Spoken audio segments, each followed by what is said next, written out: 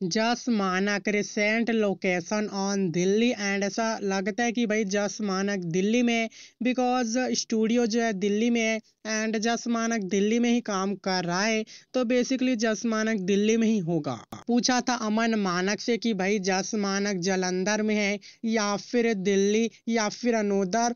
तो अमन मानक ने यहाँ बोला कि भाई जस मानक घर पे नहीं है, जस मानक दिल्ली गए हैं तो चलो आपको दिखाते हैं। अमन ने वीरे जस कित्या घर या चंडीगढ़ तो उन्होंने लिखा दिल्ली। मैंने पहले वाले वीडियो में बताया था कि जस मानक म्यूज़िक प्रोड्यूसर के साथ स्टूडियो में है, ऑन दिल्ली एंड ऐसा है कि भाई जस मानक जो है वो दिल्ली में काम कर रहा है। जस मानक अपने एल्बम को लेकर वैसे यहाँ भी बोला जा रहा है कि जस मानक का नवंबर महीने में सिंगल ट्रैक सॉन्ग आएगा।